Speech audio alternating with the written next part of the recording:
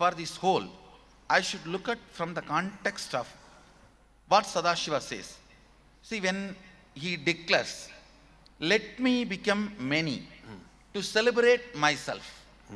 That's the basic context with which the universe expands. That's the basic context of Sadashiva. So the basic law, the first principle, foremost commandment of Sadashiva is coexistence. Coexistence with the love, with the life, with the joy, with compassion, with sharing.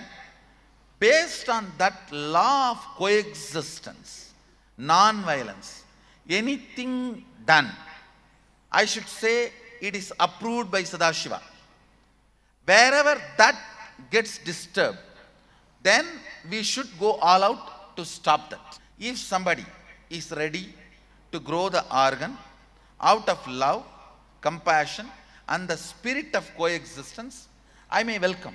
I may not even say something is wrong. But it could lead to exploitation. Ah. Some poor people being Uh, used. so that exploitation part need to be managed.